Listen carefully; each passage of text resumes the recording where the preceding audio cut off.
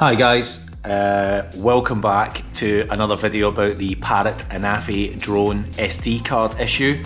Today I'm going to show you how to resolve this uh, problem.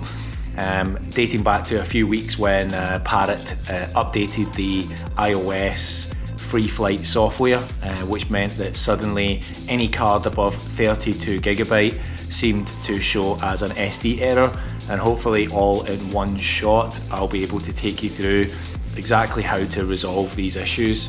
Um, so what I've got in front of me is the controller, Parrot Anafi drone, two SD cards here. One is the original that was supplied from Parrot, and the second one is a 64 uh, gigabyte card, um, which is having issues on the drone. I'm going to show you how to fix that. Got my phone for the app, got battery, and also on my laptop here, just quickly to show you the original details that Parrot sent over. I'll run through these in a couple of minutes, but um, actually the instructions that they provided uh, were just a little bit off and I'll show you exactly what to do to fix it today. So uh, let's run through this.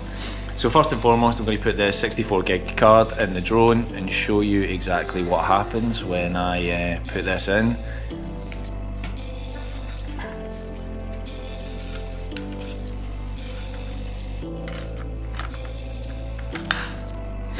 So I'm just going to enter that, power up the drone, and also put my phone onto, excuse me guys, uh, the controller.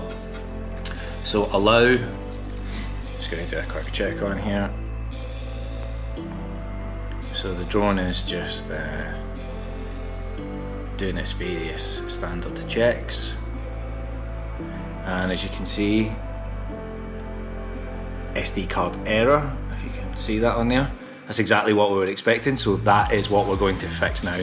So let me take you through what that looks like. So I'm going to power off the drone. Remove the battery, remove the SD card that I'm looking to use, place that aside. Take the original SD card, put that inside the drone. So you can see there it's the uh, 16 gigabyte that was supplied. Close that over, put it inside the drone, turn that back on,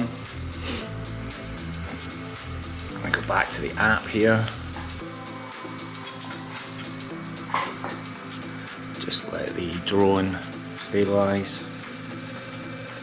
or rather initialize.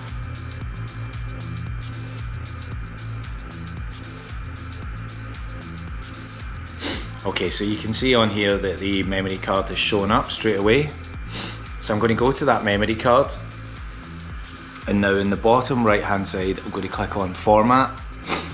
Now this is the important part. On this window here, I'm not going to do anything. I'm going to leave that open. This is the important part. So leaving that open right now, I place my phone down. I'm going to turn the drone off. Remove the battery remove that original SD card, put the new SD card, which is the 64 gig inside. replace the battery pack back on. Initialize the drone, and you can see here, I still haven't changed anything on the phone. So the drone is just initiating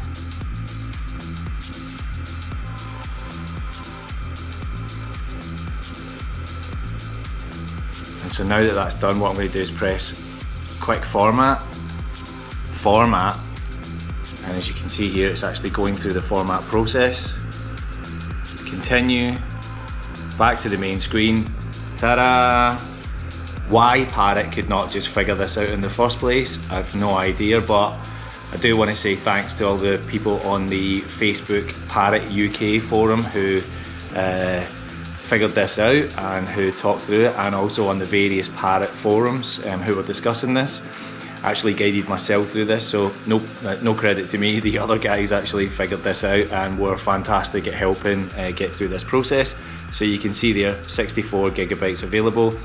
Thanks to everybody involved. This is super, super helpful. We can now go fly our drones, capture as much video as we want, and resolving this issue. Thanks everybody.